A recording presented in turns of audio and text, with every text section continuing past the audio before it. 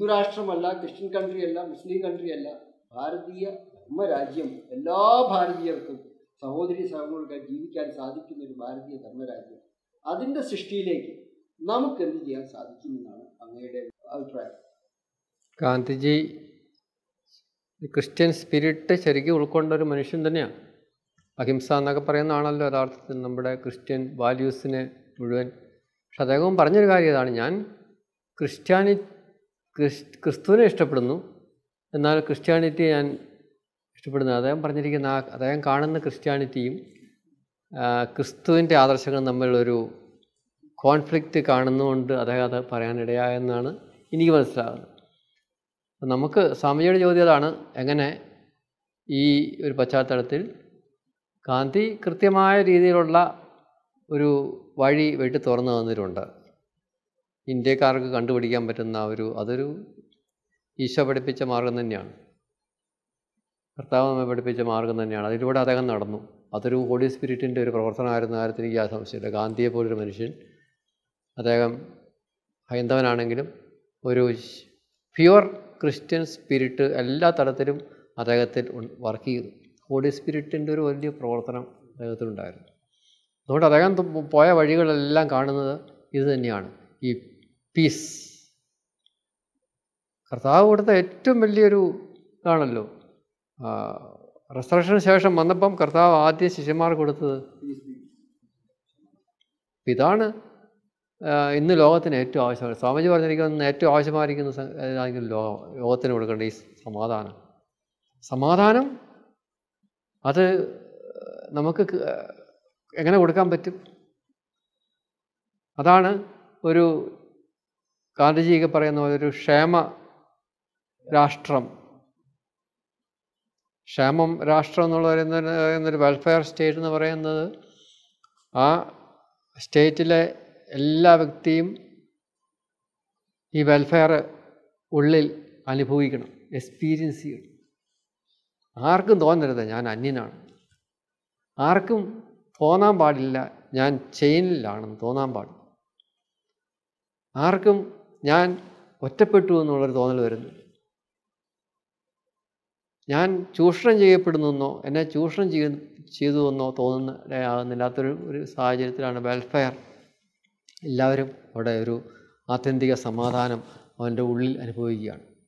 ദരിദ്ര എല്ലാ ജനവിഭാഗങ്ങൾക്കും അത് അനുഭവിക്കുന്നൊരു ക്ഷേമരാഷ്ട്രം. ഗ്രാമസ്വരാജ് എന്നൊക്കെ ഗാന്ധിജി പറഞ്ഞതല്ല ഇതോട് ബന്ധപ്പെട്ടിരിക്കുകയാണ്. ഗ്രാമങ്ങളിലേക്ക് ആണ് ഇന്ത്യയുടെ ആത്മാവ്. അപ്പോൾ ആ ഗ്രാമങ്ങളിൽ വസിക്കുന്നവർ ടെ ആ ഉന്നമനവും അവരുടെ വളർച്ചയും പിന്നെ ഒക്കെ മനസ്സിൽ കണ്ടുകൊണ്ടുള്ള വലിയൊരു പ്രത്യാശ നടപ്പ സഭയ്ക്ക് ഈ കാര്യത്തിലെല്ലാം വലിയൊരു ദർശനം കൊടുക്കാനായിട്ടുണ്ട്. അത് സ്വാമിജി പറഞ്ഞ പോലെ ധർമ്മം ധർമ്മ അധിഷ്ഠിതമായൊരു സമൂഹം.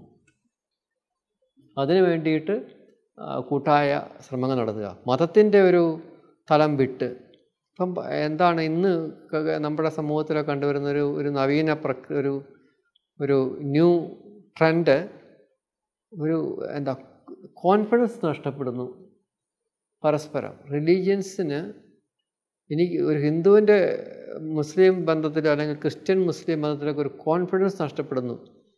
അതായത് ഞാൻ എന്റെ മതത്തെപ്പറ്റി പറയുന്നു. എനിക്ക് ചില റൈറ്റ് വേണമെന്ന് പറയുന്നു. അല്ലെങ്കിൽ ഞാൻ എന്റെ ഇതിനെ കുറ്റി ഇങ്ങനെ പറഞ്ഞുകൊണ്ടിരിക്കുന്നു. ഇങ്ങനെയൊക്കെ ഒരു ചില ഒരു മത്സര ബുദ്ധി ഉണ്ടായിക്കൊണ്ടിരിക്കുകയാണ്. എനിക്ക് കിട്ടി അവർക്ക് കിട്ടുന്നുണ്ട് എനിക്ക് കിട്ടുന്നില്ല എന്നൊക്കെ പറയുന്ന ഒരു സാഹചര്യം എല്ലാം വളർന്നു വന്നുകൊണ്ടിരിക്കുകയാണ്. പക്ഷെ ക്രിസ്ത്യൻ മൈൻഡ് അതല്ല സാരിക്കും പറഞ്ഞു എനിക്ക് ഒന്ന് കിട്ടിയില്ലെങ്കിലും എന്റെ സഹോദരൻ ഉണ്ടെങ്കിൽ ഞാൻ അതിൽ സന്തോഷിക്കുന്ന ഒരു അവസ്ഥയിലാണ്. സഹോദരൻ ഉണ്ടെങ്കിൽ എനിക്കും ഉണ്ട്. സഹോദരനില്ലെങ്കിൽ എനിക്കും ഇല്ല. അപ്പോൾ സമാധാനം എന്ന് പറയുന്നത് സന്തോഷം എന്ന് പറയുന്നത് എനിക്ക് മാത്രം ആയിട്ട് ഉണ്ടാക്കിയെടുക്കാൻ പറ്റുന്ന ഒന്നല്ല. അതെന്താണ്? എന്റെ ചുറ്റുമുള്ള എല്ലാവർക്കും കൂടി ആണ് ആ ഒരു അവസ്ഥ ക്രിയേറ്റ് ചെയ്യാനായിട്ട് കഴിയുന്നത്. എനിക്ക് മാത്രം സുരക്ഷിതനാകാനായിട്ട് ഒരിക്കലും സാധ്യമല്ല. എനിക്ക് മാത്രം സന്തോഷമുള്ളവനായിട്ട് സാ ഇരിക്കാൻ സാധ്യമല്ല. അപ്പോൾ എല്ലാവർക്കും സന്തോഷം കൊടുക്കുന്ന ഒരു നല്ല അവസ്ഥയിലേക്ക് നമുക്ക് വരാൻ സാധിക്കുമ്പം ആണ് ഈ പറയുന്ന പാരസ്പര്യം പാരസ്പര്യം എന്നൊക്കെ പറയുന്ന ഒരു വലിയ കാഴ്ചപ്പാടാണല്ലോ അപ്പം അത് പ്രകൃതിയിൽ പോലും ഉണ്ട്. മനുഷ്യനെ നഷ്ടപ്പെട്ടിട്ടുള്ളത്.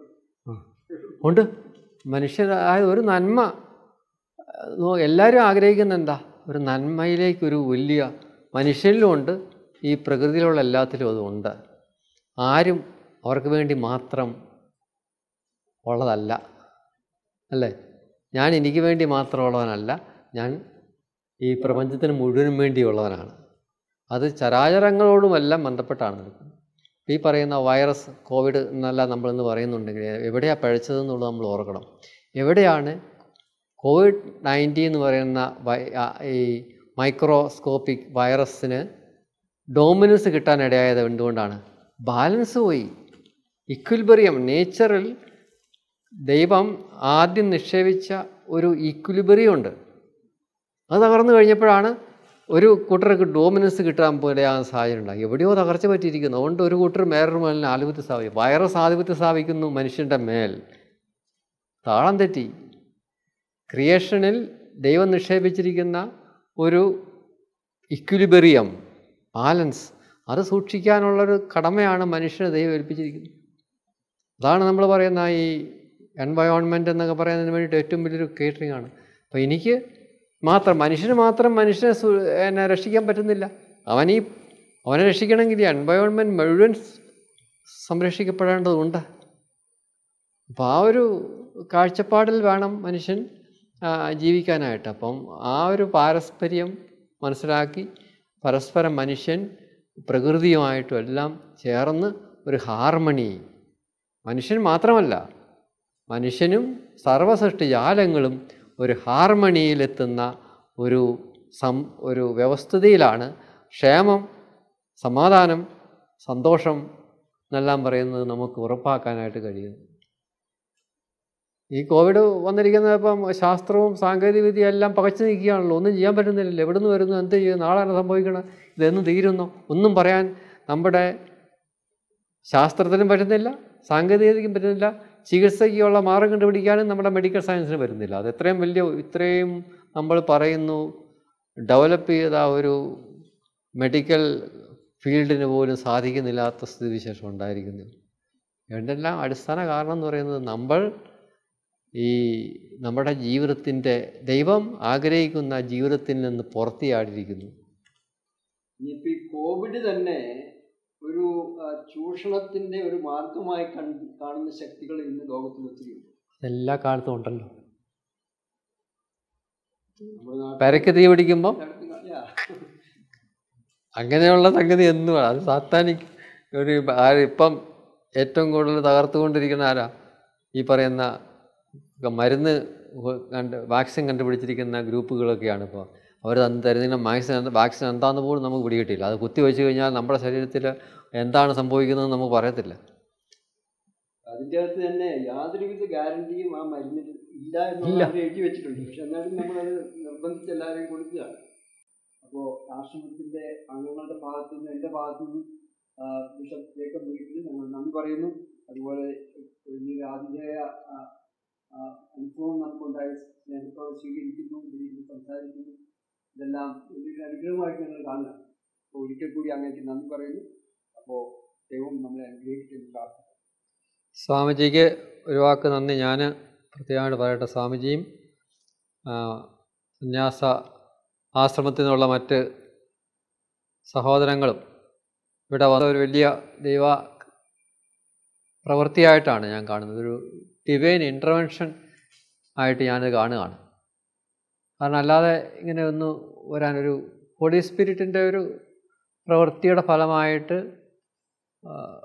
ആണ് സ്വാമിജി നയിക്കപ്പെട്ട് ഇവിടെ എത്തിയതെന്നാണ് എനിക്ക് മനസ്സിലാക്കാനായിട്ട് സാധിക്കുക. ഞങ്ങളുടെ കണ്ടുമുട്ടൽ അങ്ങനെ ഒരു ഹോളി സ്പിരിറ്റിന്റെ ഒരു പ്രചോദനത്താൽ നമ്മൾ ഇന്ന് ഇവിടെ ഒരുമിച്ച് കൂടിയിരിക്കുന്നുള്ളതാണ്. നമ്മൾ പറഞ്ഞ കാര്യങ്ങളെക്കാളെല്ലാം ഉപരിയായിട്ട് ഈ എന്താണ് സ്വത്വ അവബോധത്തിലേക്ക് നമ്മളെ ഒന്ന് കൂട്ടി ചേർക്കാനായിട്ട് കഴിഞ്ഞിരിക്കുന്നു എന്നുള്ളതാണ് സ്വാമിജി പറഞ്ഞ വാക്കുകൾ എല്ലാം കൃത്യമായിരുന്നു. സന്യാസത്തിന്റെ ഉൾക്കാമ്പ് കണ്ട ഒരു വ്യക്തി ആണല്ലോ സ്വാമിജിയെ നമ്മൾ കാണുന്നത്. സന്യാസത്തിന്റെ അർത്ഥ വ്യാപ്തി കണ്ട് ആ നിക്ഷേപം കയ്യിലെടുത്ത് അതിന്റെ ഭംഗി മനോഹാരിതയൊക്കെ ഹൃദയത്തിൽ നിറച്ച് അദ്ദേഹം ലോകത്തോട് സംസാരിക്കുന്നു.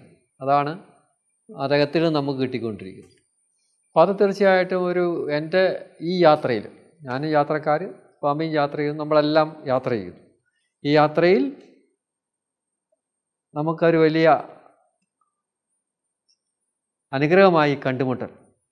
ഒരേ ദിശയിൽ യാത്ര ചെയ്യുന്നവർ വ്യത്യസ്ത വഴികളിൽ നിന്ന് വന്ന് ഒരു സ്ഥലത്ത് കണ്ടുമുട്ടി അവിടെ വെച്ച് സംസാരം കണ്ടു വീണ്ടും നമ്മൾ നമ്മുടെ മേഖലയിലേക്ക് പോകുന്നു. അപ്പോൾ നമ്മളെ കണ്ടുമുട്ടി സംസാരിച്ച് അനുഭവിച്ച ഒരു കൃത്യത നമ്മുടെ ഹൃദയത്തിൽ എപ്പോഴും എന്നും ഉണ്ടാവും.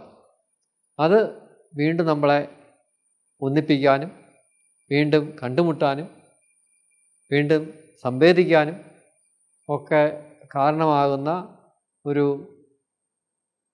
താല്പര്യം ജനിപ്പിക്കുന്നു. അതെല്ലാം തീർച്ചയായിട്ടും ഈ കണ്ടുമുട്ടലിൽ സാധിച്ചിട്ടുണ്ട്.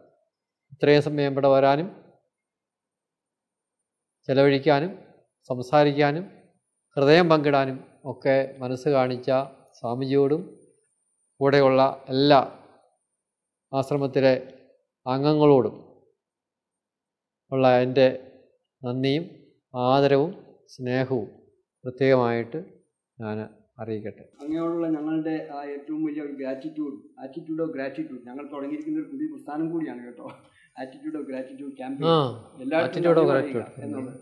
അപ്പോൾ പൗലോസ് പറയുന്നുണ്ടല്ലോ rejoice always pray unceasingly and thank God for everything this is your call in Christ Jesus our Lord എന്ന് പറയുന്നു.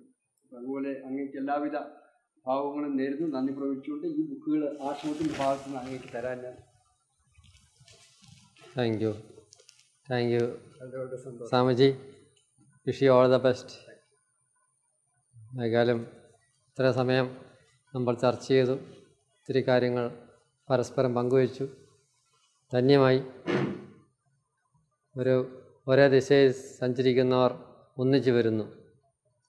ഒരു കൂട്ടം പക്ഷികൾ ഒന്നിച്ച് പറക്കുന്നു.